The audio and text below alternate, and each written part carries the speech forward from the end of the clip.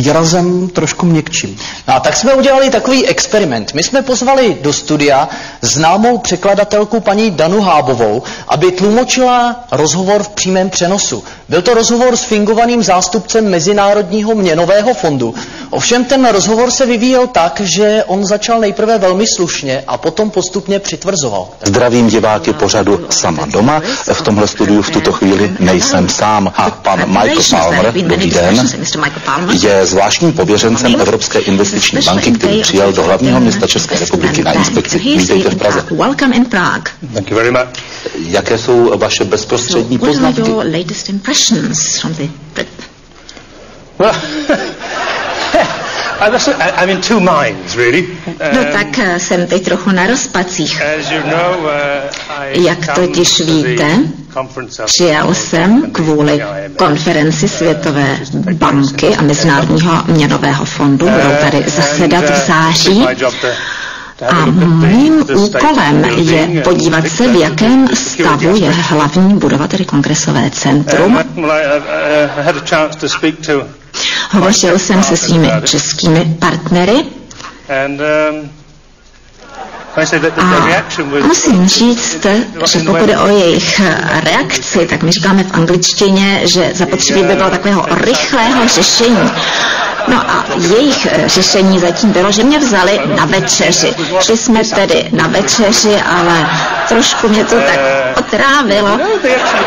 Pravdu řekl, no, restaurace byla pěkná, A víte, my máme takový výraz, kterému vědě do, doslova. This artist, to je tedy někdo, kdo opravdu toho hodně vypije. A já musím říci, že v tom jsou Češi přeborníci, takže na mě to bylo až trochu moc. Nejsem zase takový expert. Hodně jsme si povídali, ale nevím, jestli si vůbec někdo pamatuje, co jsme si všechno řekli. Já už si z toho večera taky moc nepamatuju. No a pak jsme ještě skončili v nějakém podniku, který mě opravdu fascinoval. Nejsem, jak už jsem řekl, nějaký expert na takovéhle podniky, ale já nevím přesně, co to bylo. Jistě něco prvotřídního už na té evropské úrovni. Tak jsem si to ráno vybavoval. Taky tam byla nějaká slečna Jarka, myslím, že říkali. A a mezi tím jsme pochopitelně hovořili o přípravách na konferenci. A tato dívka mi říkala, že existuje nějaký český výraz, když se hovořilo o té připravenosti celé akce, jak je česká strana připravena. A ona řekla nějaký výraz, my v angličtině tomu říkáme, že člověk je opravdu v průseru, asi zhruba tak. A byl to takový silný výraz, musím říct. A jestli se můžu teď, když jste vlastně se tady odhalil i jako osobně zeptat eh, Mr. Palmer na tu slečnu Jarku.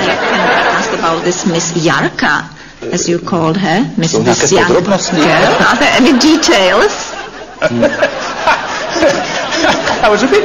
Tak musím říct, že pro mě to bylo trochu moc.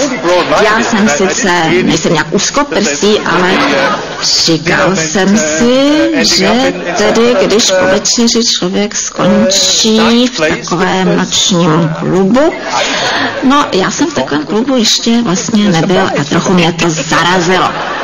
Děkuji za rozhovor. Thank you for this interview. You're very, very welcome. Vůbec.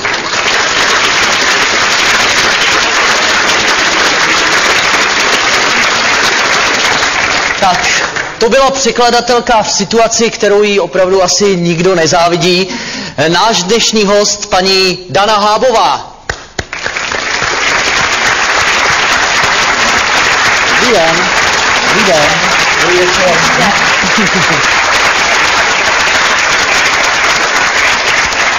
Tak to byla profesionální, profesionálně odvedená práce, protože zachovat si tvář hráče pokru to teda bylo asi docela složitý. No tak to víte, já jsem v té chvíli taky hlavně eh, myslela na pana Pokorného a říkala jsem si, promůh, on teď přijde o práci a říkala jsem si, že on je ten, který tam teď plave bez pádla. no, ale nerozhodoval jsem žádný splastanec, tak ten dobře. Myslíte, jak jsem to tak delikátně přiložila jako ten, kdo toho hodně vypije, tak, tak. jsem uh, zase myslela na ty ženy, které se právě dívají na sama doma, tak aby chudinky neomdlely tak se to tváří asi. No tam, tam jste to zvládla, ale je fakt, že když jste vyšla ven, tak jste se tvářila už trošku jinak.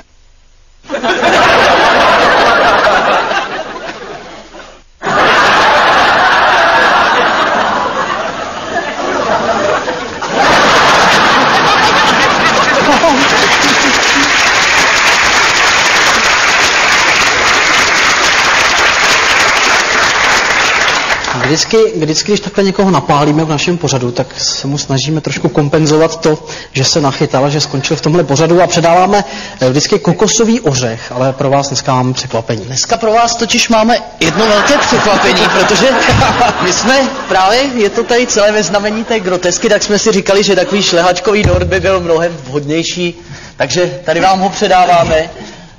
Prosím, je to celé vaše. Je to celé vaše, můžeme se samozřejmě o to potom Kokosový třeba... asi teda, když Kokosový, no není, ale... Potom se můžeme o to v šatně třeba podělit. Ten, ten není no. jenom můj, ne? Sama není, je, ale mohla byste se i třeba... Že byste si ho nějak zasloužila třeba ještě kousek, teď tady? To by, to by taky nebylo špatně, ještě to groteska, že byste něco veselého předvedla. Nebojte se. Když je ten dort ještě čerstvý, že bychom ano, ho něco pořádně veselého. hned spotřebovali, nebo hned tak, se co myslíte? Třeba hned.